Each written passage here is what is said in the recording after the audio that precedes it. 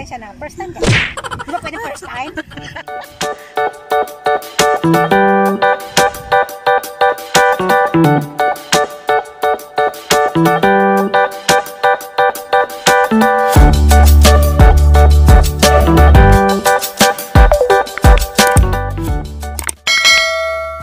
Dito tayo ngayon sa Sharp Beach o yung tinatawag na lang Sharp Island kung saan ah, yung yung lugar na pag, na pag naglo-low tide siya is mayroon siyang ah, batong mapu- pwede kang pumunta dun sa kabilang isla na katulad na sa nakikita niyo sa picture. So ngayon, since ito yung first time uli namin na makapunta uli sa dagat after ng summer. So bumili tayo ng bago nating tent. Chararan!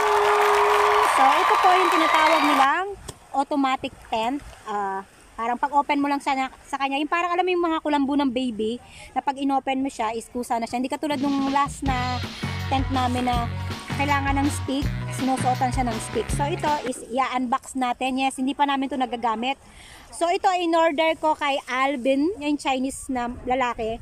Ang istorya pa nito, ah, in order ko to bago ako nandun pa ako sa amo ko. Tapos dapat pipick upin ko na siya ng Sunday na yon. Tapos biglang kailangan ko magdala ng gamit ko sa amo ko. That time, ang presyo pa niya sa akin is 199. So, mostly ang mga gantong automatic tent sa mga ibang online seller, umaabot siya ng 250, 60. So, hindi wala akong matawaran. So, that time, nakita ko yung Alvin, nag-post siya is 199 lang. So, kaso hindi ko siya na-pick up. And the next Sunday uli, parang nag-update siya ng price. Naging 175 na lang siya. Yes, 175 na lang po. Kumbaga, ang cheap-cheap niya talaga. Tapos, meron pa siyang libreng bed, parang panlatag sa ilalim. As nakita nyo sa picture, yan. Hindi ko na lang siya dinala kasi ah, masyado siyang makapal at saka para less bit bed. So ngayon, i-unbox na natin tong ating automatic tent. Kasi siyempre, in the side, nandiyan pa rin si Isay Journey. Yes. So ngayon, let's unbox the automatic tent. Siyempre, tingnan nyo muna kung paano siya ginagawa.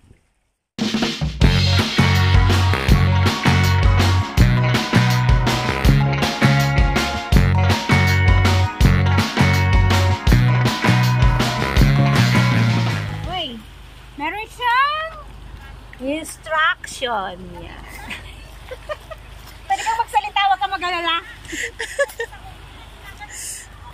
Unboxing nga eh. Kaya nandiyan pa rin si Isa Journey sa likod ng aking camera, guys. Yes, meron siyang yeah, panali. Okay, meron siyang panali at saka meron siyang so, keep natin to. Wow, meron siyang belt, guys. Pwede siyang, pwede siyang pang-aso. Panali siya. In fairness, ang ganda ng quality ah. So ito guys, hindi niya na kailangan ng stick. So, wow! Favorite color! Green. Uy, bumubukas na agad. So siya guys, ang, ang sistema nito, nandito na agad yung stick niya. Nandito na agad yung stick niya. Hindi katulad ng mga normal na tent na pinapasak mo pa yung stick. So, hindi gagawin. So itatayo na. Wow! Bumubukas na siya guys! bumubukas na siya kagad. Magic. Ito is ano, 4 to 6 person. Wow! You see, nakita niyo, nadinig na siya dyan. Naglalak na siya kaagad. Ay, ang ganda. Dito siya guys. So hindi na siya. Oh, anong tulong? Sabi mo dalawa pa tayo. Anong gagawin ko? So ito siya guys. Easy tapos, lang.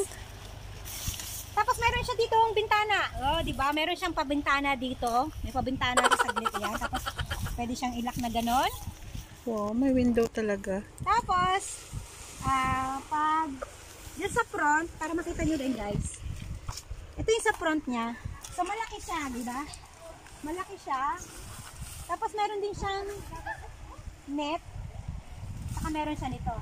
So, kagandahan lang dito siya guys. Ito, tatalo mo. Kagandahan lang dito. Hindi ka na mahirapan yung magsundot-sundot, mag-roll-roll. Katulad ng ginagamit namin before. So, ito na siya. Mas maganda na siya. Yun na siya. Nakatayo na agad siya, no? Nakatayo na kagad siya. Pag open mo pa lang. So, paano naman natin siya i-ano, i-attach? Pag gusto mo na siyang i-close, ganun lang din. Bababa mo lang to siya. Isa-isa mo lang din siyang. Parang ganun siya.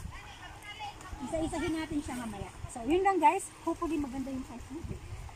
So, yun lang siya. Hopefully, talagang maganda siya.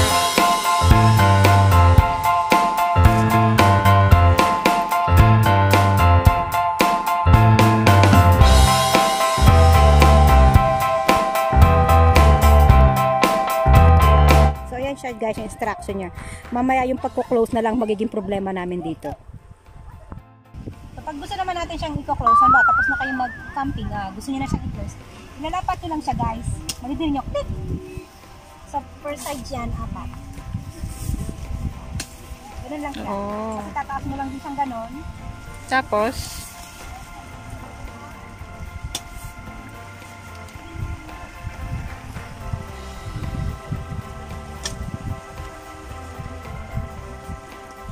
Natatakot ako. Baka hindi pa man naputol na. Bibili kasi hindi alam ang... ayun, nakuha niya na eh. Ah, sige na, tayo mo na.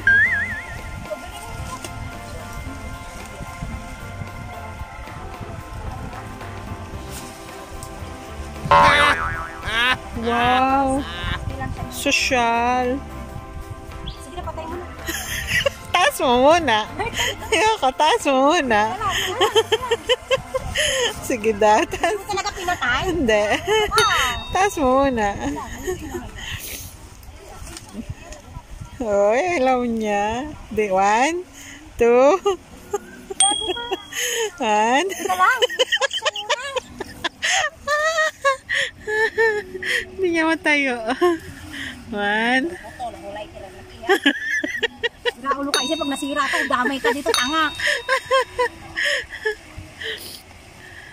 Parang wala akong share dyan. Meron, tangi. Hindi, kailangan mo daw itaas. Six and a half hours later. Patay mo na, nahiya ako. Hindi yan mataas. Hindi yan mataas. Yan nasa tuktok yan yung nasa ibabaw. yan. Pabaluktot. Ano siya? Hindi niya na alam guys yung gagawin niya. Vlog pa mo. Ano to, pamplap. Then, next. Ayos na muna, isa saglit lang.